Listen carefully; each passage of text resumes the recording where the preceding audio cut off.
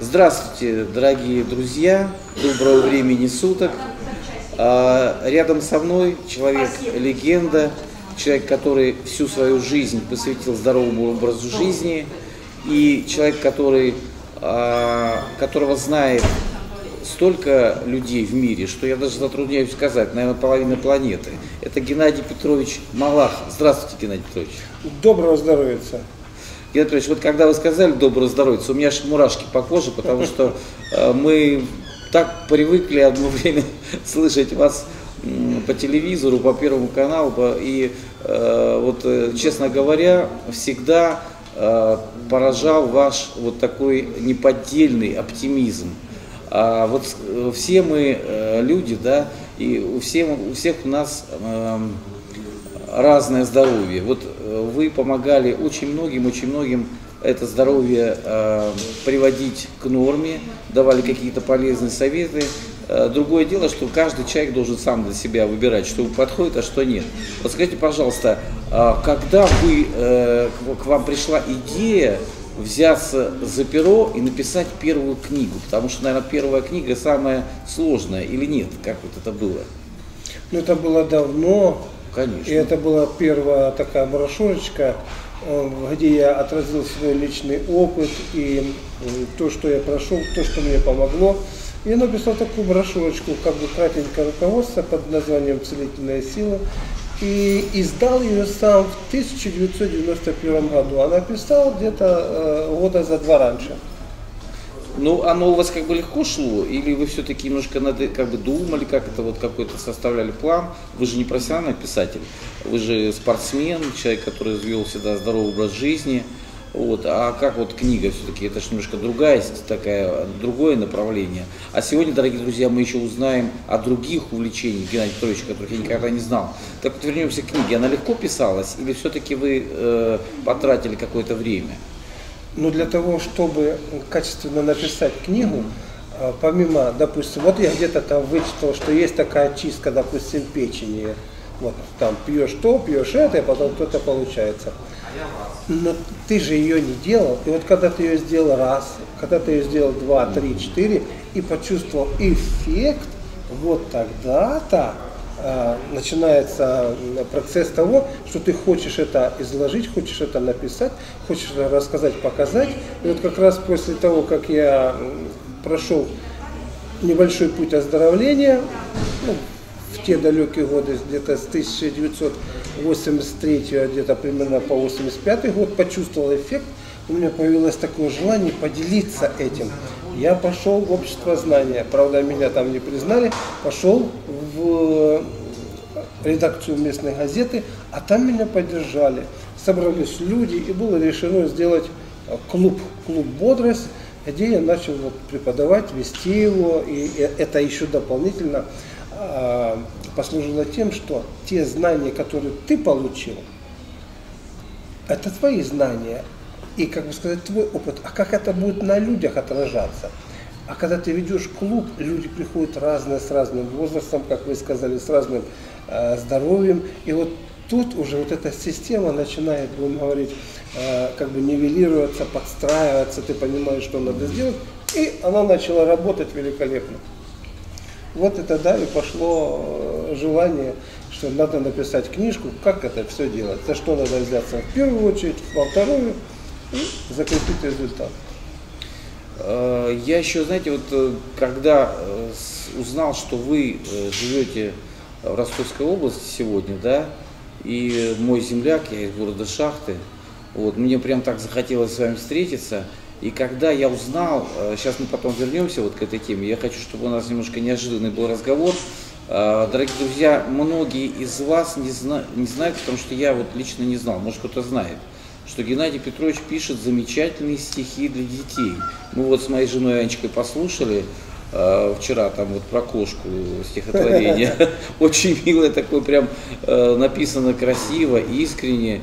А скажите, как к этому пришли? Как вы стали писать стихи, а потом еще и э, создавать музыкальные какие-то композиции? Вот это просто поразительно. Ну, стихи я писал давно, так маленькие-маленькие стихи. А потом, знаете, в чем дело оказывается? Вот когда в организме а, много энергетики, вот ты, это позволяет тебе, будем говорить, как бы лучше а, слышать, вот, э, лучше слышать интуиция появляется, у тебя появляется ну, ну какая-то, можно так сказать, чуйка. Вдохновение приходит, да, какое-то э, Вдохновение, я расскажу о вдохновении, э, это когда вообще с тобой разговаривают, э, будем говорить, ну, скажем так, высшие силы, я продемонстрирую, как это происходит, потому что они дали мне стихотворение. А так вот, ну, будем говорить, как-то получается, надо долго можно сочинять, надо недолго. Вот, например, я могу такое стихотворение рассказать, которое наверное, не слышали. Угу. Пожалуйста. Я окна настежь открываю, и словно стаю белых птиц свои желания выпускаю. В тот мир, где солнце и луна свои лучи соединили, где облака как паруса, и где хранится образ милый, и пусть судьба мне скажет «да». Пусть снова юность возвратится в мои года, к моим друзьям. И ту любовь, что только снится.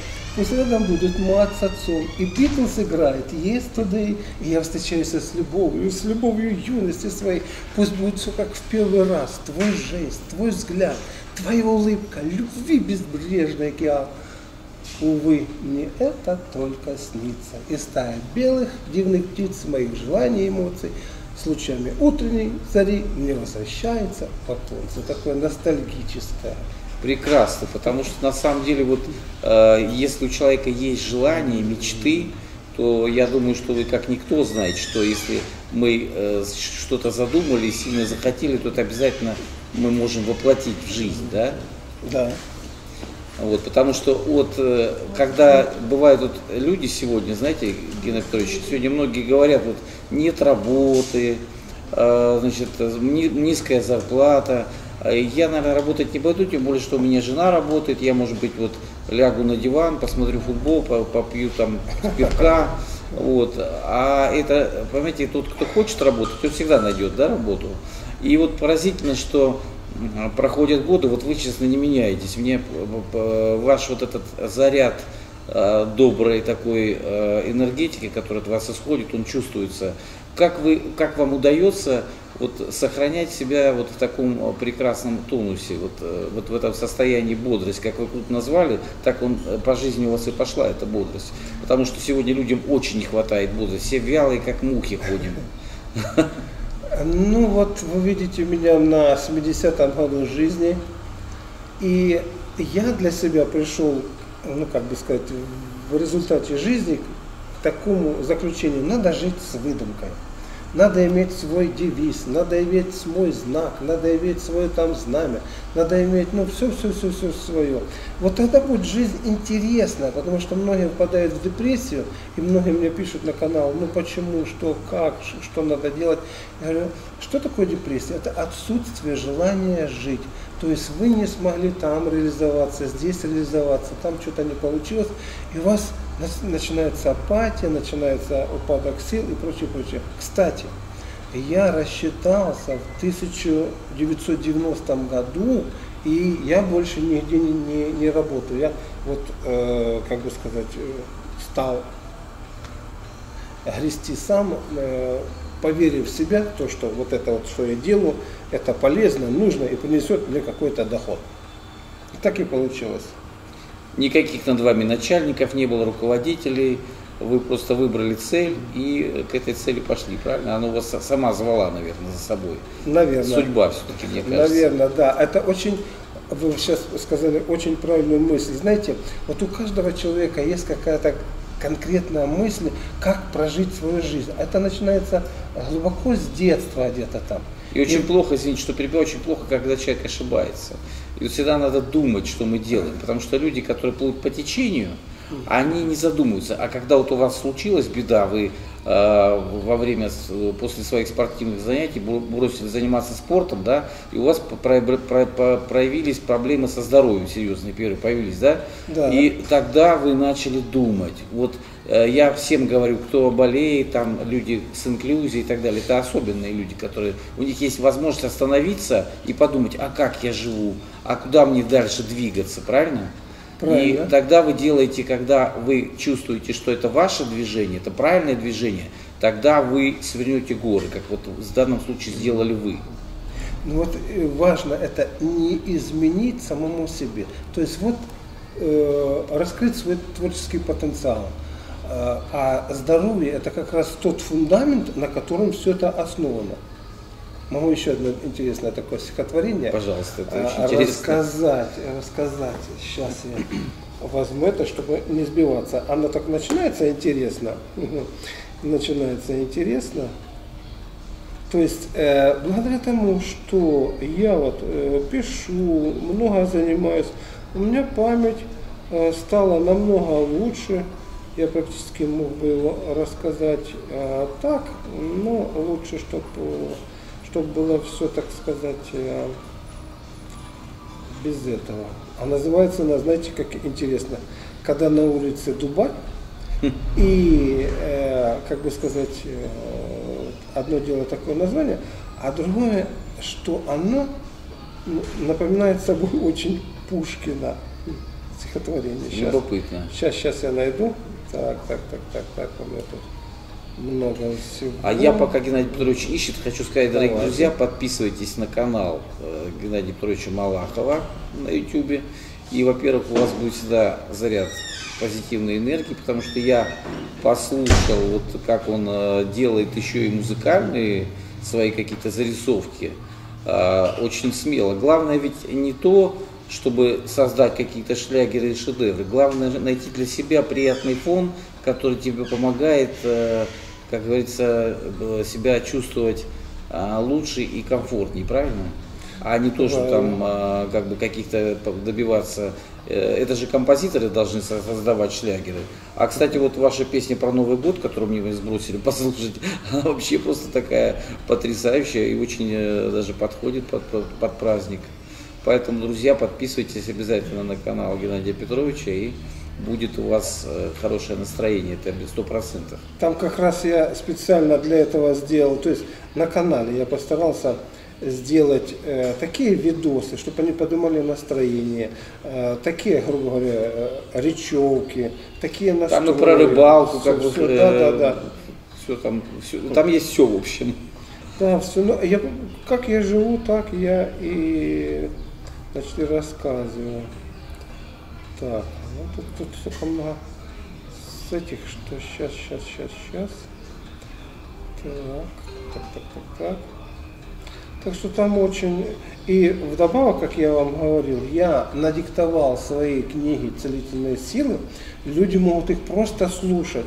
Не надо читать. Все автор э, читает. Ваша задача прослушать и что-то взять для себя. Так, а где же она делась такой? Ай-яй-яй-яй. Тут и рыжая киска. Так, так, так, так. Давайте, может, что-нибудь другое. Давайте другое. А если я его немножко что-то собьюсь, ничего? Ничего страшного. У нас зато вот как бы живой прямой эфир. Мы... Ага, хорошо. Вот насколько, говорить, у меня память. Это стихотворение сочинил давно, вот когда на улице Дубай, а это верно, ведь январь, ты дома посиди, смотри в окошко, голодных птичек покорми и облом чуть погрусти. А там весна, и все растает, и лето жал, жаркое придет, свои проблемы принесет. Уж коль январь такой случился, в июне сморит всех жара, купаться будем до утра и тело покрывать загаром. А там дожди, ты их немного подожди, и снова холода полюбишь, в оконца на мороз глядя, чаек душистый разливая, о жизни бренной рассуждая, что хорошо и в жар, и в холод здоровье крепкое иметь, а остальное просто медь. Ее не стоит и иметь, свое здоровье тратя даром. Так будем жить и процветать, и строки любви писать, и посылать их прямо в сердце, готовые себе принять и от восторга засиять. Браво, браво. Вот это вот э, разве это не позитив? Да, длинное стихотворение, Нет, я его запомнил. Я хочу а, а действительно давно. ритм такой вот какой-то да, классический, такой, да, такой да, прям. Как у Пушкина. Да. Э, я хочу еще спросить о том, вот как раз о музыке, вернемся к музыке. Да. Как вам пришло в голову вот создать для себя такой вот какой-то поковыряться в этом телефоне или в какой-то программе?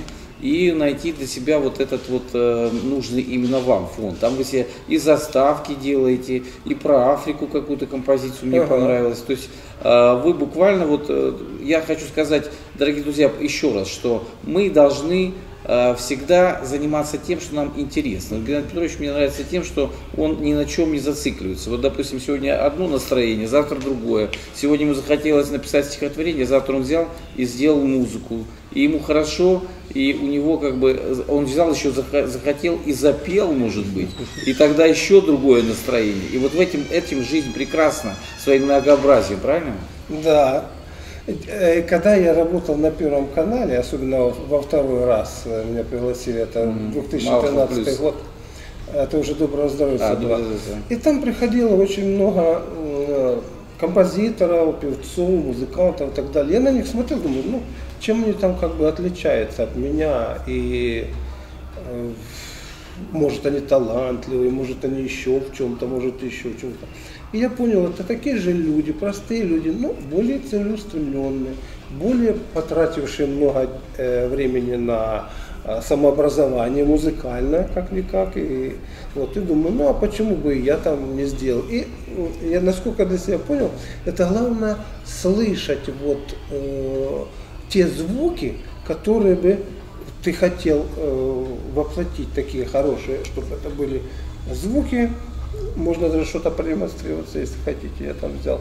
Вот. А что касается петь, я, значит, там даже ты запел, наверное, такую песню не слышали. Как раз абрикосы отцвели, и я вот такую песенку так, ну, пару куплетов, да. да. Цветет и пахнет абрикос, весна бушует, так и надо. А у меня один вопрос, а у меня один вопрос, где ты живешь, моя отрада? Весной девчонки, как цветы, нарядно пахнут и красивые.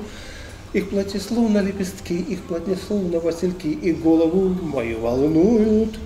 К тебе смело подойду, это танго, тара да да да да да да Смущение пряча за улыбкой, и за руку тебя возьму в твои глаза, я загляну, и это будет не ошибкой. Цветет и пахнет абрикос. Вот так вот. То есть, что еще важно, я понял, если знаете, люди закомплексованы они боятся проявить себя. Это, Эксперимент это, боятся. А они вообще боятся Они думают, а что себя. подумают обо мне другие. Да, да, они многое подумают, что подумают и так далее. Пусть те думают что угодно. Ваша задача, дело в том, что когда идет, будем говорить, вот эта мысль, энергия через вас, эмоции, а вы их раз зажали, скукошились, это уже вредно для здоровья, кстати. А надо, когда вы себя выпускаете, вот этот пар, да, да? надо раскрыться, и когда вы раскрываетесь, вот смотрите, когда человек замыкается, ну, он боится, там, э, напряжение накапливается. Да. То есть он закрывается от окружающего пространства, он не получает энергию. Запомните это все. Он не получает энергию из окружающей среды. А когда ты открытый, вот так вот раз, она в тебя вливается, вливается не просто животворящий поток, а вот как раз вот это вот э, творческие различные эти самые вибрации и так далее. Ты только успеваешь стихи писать, еще что-то сделать, еще что делать и так далее.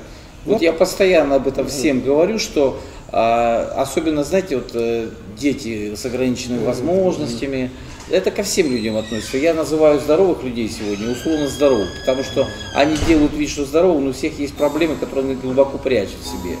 Вот. А чем мне нравится ваша личность, то что вы как раз вот советуете найти любой способ, лишь бы избавиться от напряжения, от э, какого-то дискомфорта.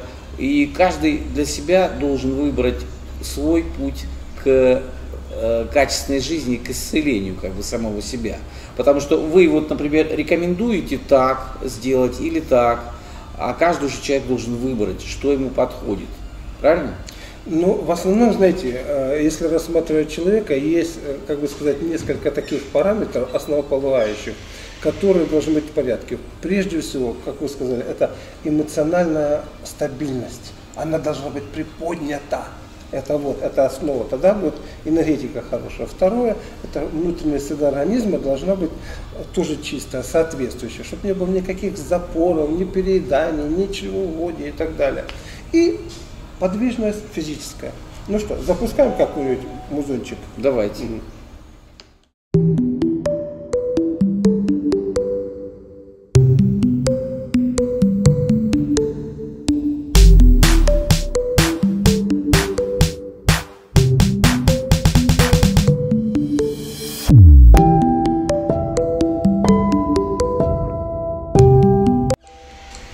Приятный фон, согласитесь. Да, вот главное музыка должна быть приятная.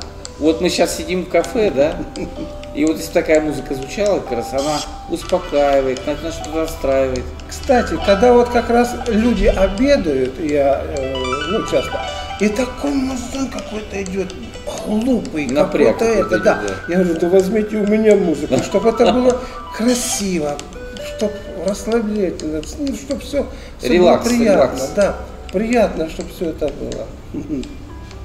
Так. Вот, то есть э, э, я задался себе целью, ну, допустим, вот знаете еще э, в чем, как бы сказать, я выключу это, Чудесно. в чем фишка? Многие люди, вот они так говорят, вот дайте мне вот что-то, ну, грубо говоря, кучу денег, и я тогда выпущу альбом музыкальный, я сниму фильм, я сниму передачи и прочее, прочее, прочее. Вот, то есть э, они не показывают, что они могут сделать, кто его знает, что они там, грубо говоря, на эти деньги сделают. А я уже показал, я выпустил альбом, то есть не, ну, чтобы доказать, что я не хуже окружающих людей, там, э, музыкантов По крайней мере, вы сделали по-своему, да? Вот, да, выпустил это. Я сделал цикл передачи «Целебная кулинария». Это на целое телевидение один мне заделал. Вот. Ну, там написал книги, а кто-то мне, знаете, пишет, э, мол, ты это обманываешь людей. Над написанием этих книг работал целый коллектив, а ты их что-то там себе присвоил. Я пишу, вот это да, видите, как за, за целый коллектив написал, что угодно там думайте и так далее. То есть вот Когда хочешь что-то сделать хорошо, сделай сам, правильно? ну да, потому что э, энергетика другого человека и его какие-то мысли, это уже какой-то симбиоз. Ты хочешь вот так вот сделать, хотя бы как в музыке, я хочу, чтобы такая дун дун дун дун а он там тюнь тюнь тюнь как-нибудь что-нибудь получается не то, что хотелось бы. Вот э, все, кто э, говорят, например, там вот э, Геннадий Петрович, там, например, э, какой-то дал неправильный рецепт. Все-таки э, я знаю, что вы всегда говорили всем, что э, ре- рекомендовали всегда э, советоваться, во-первых, с врачами, э, пробовать все надо в меру, да, как бы Да. тебе идет, не идет. А, Разум должен разум должен быть всегда у любого человека. А если человек без разума, так он может э, ну, что угодно посмотреть и, э, как говорится, переборщить, да, где-то в чем-то. А все хорошо в миру. Я вот хотел вас спросить еще вот как раз на злободневные такие вопросы.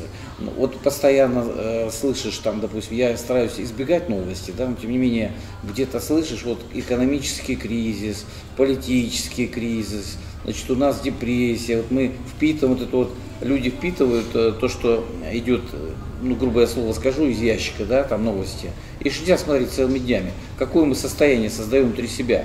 А Как нам сегодня вот э, жить? Мы все, что происходит, мы не можем повлиять, правильно? Мы э, должны как-то вот найти золотую середину и э, как, как сказать, как вот вы справляетесь с тем, что продолжаете жить э, счастливо, качественно и, как сказать, без уныния, потому что уныние это грех. Ну вот, э, когда были 90-е годы, самые такие трудные, да, я занимался своим делом. Вот это вот писал книги, как раз они распространялись. И я э, построил дом. М. Построил дом, у меня дом хороший, у меня дом был, ну, я купил там, грубо говоря, одноэтажный домишко, который у нас там как вот, как в шахтах таких. Это. Вот. На его месте я построил трехэтажный дом. Там у меня имеется спортзальчик, я там занимаюсь для себя. Вот. То есть, э, если вы действительно ну, увлечены, увлечены вот, э, своей собственной идеей, и которая, которая вот, желательно, чтобы она созвучна данному времени была, то получится, что вот опять-таки, если взять 90-е годы, что вроде бы с одной стороны и плохо, и разруха, но я вот как раз, э, и медицина тогда же она просела сильно, люди пользовались моими книгами, и в результате и они хорошо получили, и я хорошо получил, я построил дом, вот, все это такое. А они, значит, э, кто вот занимался вдумчиво, те получили то, что они хотели. Что я еще хочу сказать, я не просто вот, э, занялся тем, что там разбирал рецепты или рекомендовал рецепты. Меня заинтересовал вообще феномен здоровья, на чем он основан.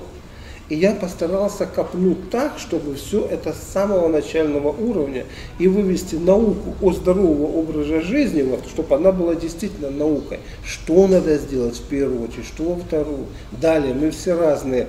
В чем заключается эта разность? Мне пришлось изучить науку о индивидуальной конституции, я ее изложил, я понимаю, кто что я. Мне пришлось в свое время изучить для себя, как работает наше сознание. Сам, понимаете, оказывается, то, что имеется, да, оно как-то имеется. Но вот то, что мне надо было объяснить с самого начала, как сознание возникает. Никто что об этом не говорит, как сознание возникает.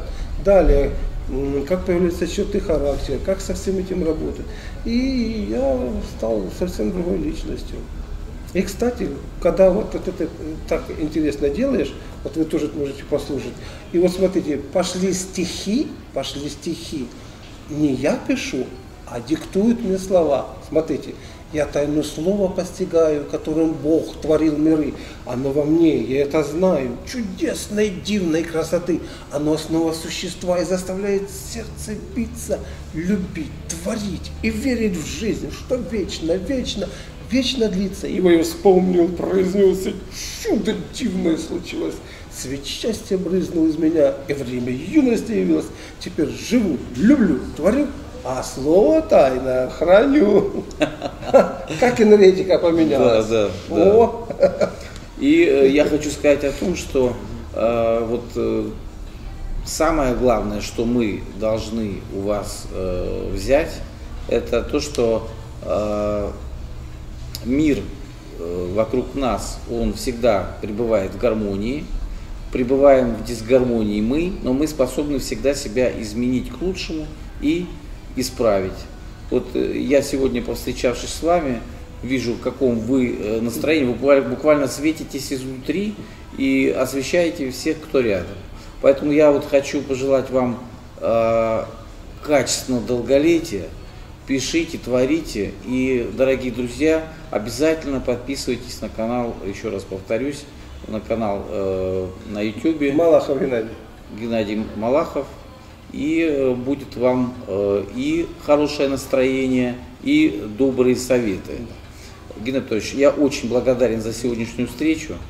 И я еще надеюсь, что вы поучаствуете в радиопрограмме. Там мы послушаем как раз ваш альбом, ваши стихи. Это все я вам дам, и книги, да. стихи, все там пользуйтесь. Если можете сами взять. Скажите, что бы вы хотели пожелать вот тем, кто нас сейчас слышит? Ну, в первую очередь, конечно, фундаментально это здоровье, благосостояние, ума и прозрения. И хочется закончить, мы заканчиваем, да? Хочется закончить это вот таким стихотворением, которое опять-таки пришлось, и я его просто записал. Когда с вами буквально таки говорит Господь, я мера мироздания и глубина, и ширина, и воплощение знаний. Я корень слов, источник жизни и миров. Я формирую бытие свое, ее, вселенная всей, источник я любви своей, которой космос заполняю. Я так живу и процветаю, буду жить и процветать. Любовь и счастье воплощать, заполнять им все миры. Где буду я? Где будешь ты? Ведь я и ты две миры этой красоты. Браво! Это Геннадий Петрович Малахов и Виктор Тартанов. Э, всем хорошего настроения, будьте здоровы. Все отлично. Заделали, да. Да, мне кажется, хорошо, да, легко так. А вы читаете, знаете, у вас прям такое, э, как сказать, ар- Напор. артистизм такой, напор. Ну я посмотрел их, они такие же люди, что им хуже? Конечно, Так это же конечно. все ж можно привести. Я тайно слово постигаю, Да. которым Бог творил миры. Оно, оно, я это знаю. Ачка, давай еще пофотографируемся, да, Петрович, пусть нас да, да. Данил Михайлович пофотографирует.